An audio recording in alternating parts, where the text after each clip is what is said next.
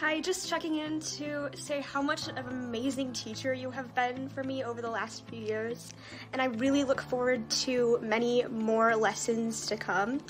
You have taught me so much, more than I ever thought I would be able to learn, and you've honestly become not just my teacher, but my friend.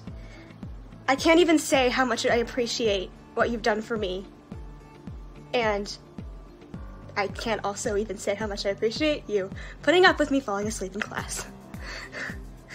Thanks. Have a nice day.